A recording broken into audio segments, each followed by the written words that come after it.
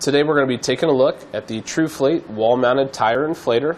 This digital tire inflator fills a standard tire in approximately three minutes. It's going to feature SmartFlate technology, so that's going to automatically fill to a preset pressure and then shut off automatically once that pressure is reached. The digital display is going to let you set a desired pressure. It's also going to let you see your pressure at all times. The pressure display can be switched between PSI, BAR, and KPA, and it saves the preset pressure in the device memory for ease of use, and that can easily be changed at any time depending on your application. This is a wall-mounted unit, so it stays out of the way but ready to be used at any time. It's got a flat back design for easy mounting, and it doesn't take up much space at all. It's going to be perfect for your shop or for your garage.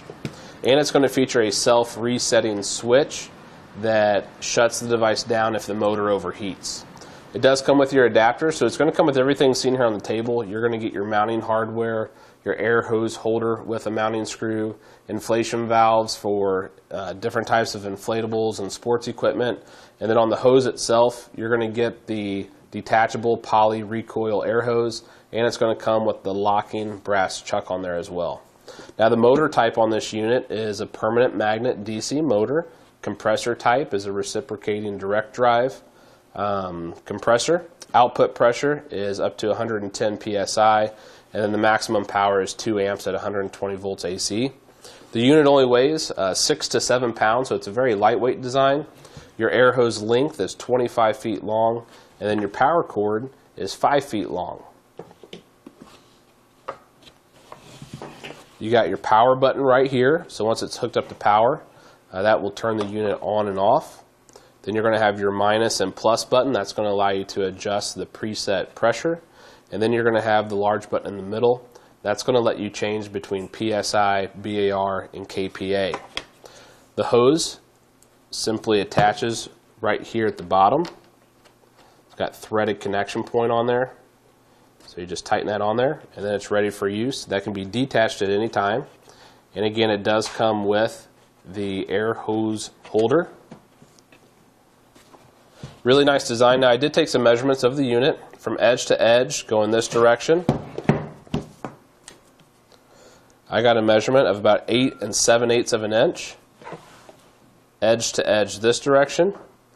I got a measurement of about 8 and 5 eighths of an inch. And then when I took a, excuse me, when I took a thickness measurement from very back to very front, I got a measurement of about 4 and 1 quarter to 4 and 3 eighths of an inch deep. I will go ahead and hook it up. That way you can get an idea of what the display looks like. And I can bring in a little bit closer here as well. So you can see there, um, it's backlit, so it's very easy to see. Push that button to change between PSI, BAR, and KPA. And then when you're ready to set your pressure, you just hold down on the plus or minus button for a few seconds. And it's going to start adjusting in 0.5 increments. And then once you have the pressure set, you just let it sit until it stops flashing. And then you can start inflating and it'll shut off as soon as it reaches uh, that preset pressure. That's going to do it for today's look at the Tru-Flate wall-mounted tire inflator. Click the link below to shop, learn more, or visit us at eTrailer.com.